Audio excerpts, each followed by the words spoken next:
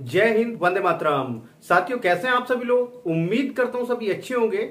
साथियों, आज की वीडियो उन छात्रों के लिए है जो छात्र अपना यूजी के किसी भी कोर्स में एडमिशन लेना चाहते हैं। फिर चाहे कोई भी यूनिवर्सिटी है या फिर कोई भी कॉलेज है।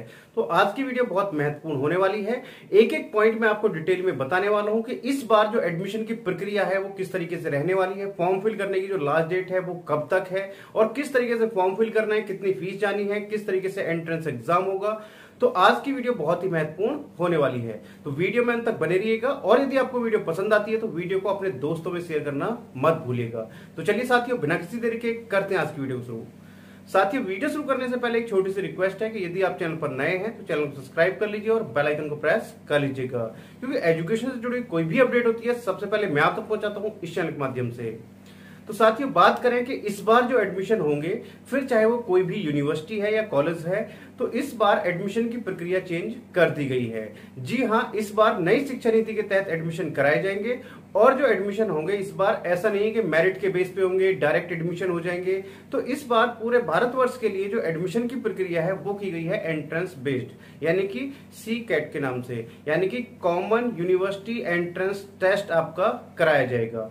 उसके लिए जो फॉर्म फिल है, वो आपके फॉर्म फिल हो रहे हैं। वो जो आपके फॉर्म फिल होने स्टार्ट हुए थे, वो आपका 6 अप्रैल से स्टार्ट हुए थे और उसकी जो लास्ट डेट है, वो 6 मई है। यानी कि बहुत जल्द उसकी लास्ट डेट होने वाली है। तो यदि आपने अभी तक अपना फॉर्म फिल नहीं किया है तो उसको ज़रूर फिल कर लीजिएगा।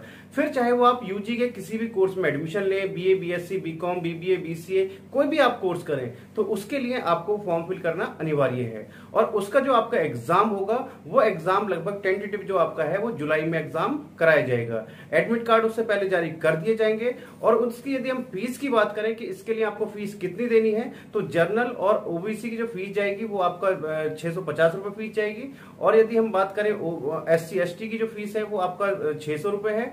और यदि हम बात करें जो फ़िज़िकल हैंडीकैप है तो उसके लिए जो फ़ीस जाएगी, वो साढ़े पाँच सौ है। तो ये इसकी फ़ीस जाने वाली है एंट्रेंस की। तो इस बार याद रखिएगा, जो सभी पूरे भारतवर्ष में जितने भी यूनिवर्सिटी या कॉलेज हैं तो जो एडमिशन की प्रक्रिया है, वो आपकी इस बार किस तरीके से रहेगी मेरिट बेस पे एडमिशन नहीं होंगे कॉमन एक एंट्रेंस टेस्ट रखा गया है। तो ये फॉर्म फिल करना बहुत ही अनिवार्य है। तो साथियों, यदि आपको यूजी में एडमिशन लेना है तो उसके लिए आपको ये फॉर्म फिल करना अनिवार्य है। और यदि आपको नहीं करना है, आपको कोई भाई बहन है तो उन तक इस वीडियो को पहुंचाना बहुत ज़रूरी है कि यदि वो फॉर्म फिल करने से वंचित रह जाते हैं तो फिर हो सकता है वो एडमिशन से भी वंचित रह सकते हैं। तो वीडियो को ज़्यादा से ज़्यादा स्टूडेंट के बीच में पहुंचाएँ और आपको फॉर्म फिल कैसे करना है और अधिक जानकारी के लिए यदि आप और अधिक जानकारी चाहते हैं तो उसके लिए आप मेरे से कमेंट बॉक्स में पूछ सकते हैं। उसके लिए मैं सेपरेट वीडियो बना दूँगा। तो साथियों ऑलमोस्ट मैंने सब सारी चीज़ें आपको क्लियर कर दी हैं। यदि अभी भी आपको कोई डाउट या क्वेश्चन रह गया है तो आप मेरे से कमेंट बॉक्स में पूछ सकते हैं। मैं जितने जल्द से जल्द होगा, उसका आंसर इस पर वीडियो बनाने की पूरी कोशिश करूँगा। तो चलिए साथियों, मिलते हैं आपसे नेक्स्ट वीडियो में कुछ नई अपडेट के साथ। तब तक के लिए जय हिंद, जय भारत।